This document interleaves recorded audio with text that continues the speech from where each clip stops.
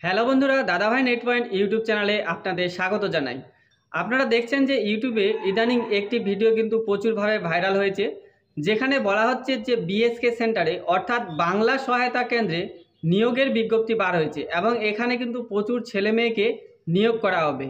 তো আসলেই কি বাংলা সহায়তা কেন্দ্রে কোনো নিয়োগের জন্য বিজ্ঞপ্তি বার হয়েছে? তো আমি দেখুন, আমি কিন্তু বাংলা সহায়তা কেন্দ্রে, অর্থাৎ যে ওয়েবেল টেকনোলজির সাইট রয়েছে, সেই সাইটটিতে কিন্তু পুরো আমি দেখেছি। সেখানে কিন্তু কোনো রকম নিয়োগের বিজ্ঞপ্তি বার হয়নি।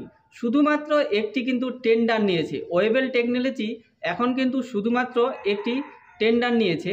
যে টেন্ডারটি কিন্তু সমস্ত ইউটিউবার আপনাদের দেখাচ্ছেন এবং বলছে যে বাংলা সহায়তা কেন্দ্রে নিয়োগের বিজ্ঞপ্তি বার হয়ে গেছে। আসলে কিন্তু এরকম কোনো নিয়োগের বিজ্ঞপ্তি এখনও পর্যন্ত বার হয়নি।